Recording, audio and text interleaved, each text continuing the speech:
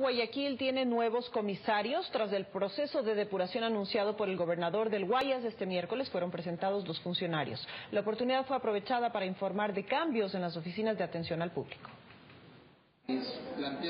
Fue el propio gobernador Julio César Quiñones quien ante los propietarios de establecimientos nocturnos de Guayaquil quiso presentar a los nuevos comisarios, los que pasaron las pruebas, sobre todo la de confiabilidad, una prueba que por cierto deberán repetirla una y otra vez. Que entienda la ciudadanía que no es que ya es definitivo, cada dos meses vamos a hacer cortes evaluativos y, eh, evaluativos y haremos los cambios que tengamos que hacer.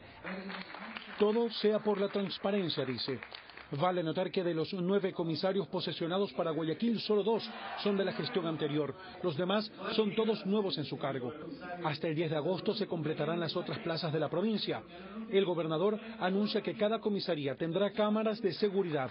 Él tendrá una línea directa para atender denuncias y puso las reglas claras ante los dueños de centros nocturnos, quienes esperan que, ahora sí, en la quinta reunión y con un quinto intendente de policía en lo que va del año, las cosas cambien. Mientras los horarios no se arreglen, ¿verdad? Siempre va a haber este tipo de extorsión, ¿verdad? Porque no solamente hablamos de alguna autoridad que esté de paso, sino hablamos de los policías del sector, de las zonas, de cualquiera de las ciudades.